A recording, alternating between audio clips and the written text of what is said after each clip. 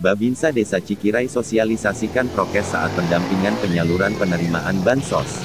Kabupaten Sukabumi, Serma Benri Simalango anggota Koramil 2, 204 Cikidang sosialisasikan prokes 3M saat warga menerima Bansos di kantor Desa Cikirai Kecamatan Cikidang Kabupaten Sukabumi.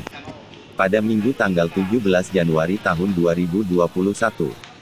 Serma Bendri Simalango menyampaikan pada warga desa binaannya agar selalu patuhi protokol kesehatan yang salah satunya memakai masker dan jaga jarak, hal tersebut agar menjaga tubuh dan nafas tidak menghirup udara secara langsung saat ada kerumunan.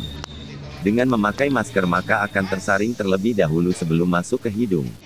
Ujarnya, selain untuk keamanan dan ketertiban pendampingan penyaluran bansos juga memastikan warga patuhi protokol kesehatan, dan penyaluran bansos tersebut harus sesuai dengan KPM yang telah ditetapkan.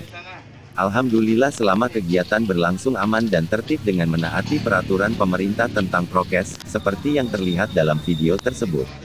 Sampainya, jurnalis Hengki Juendi.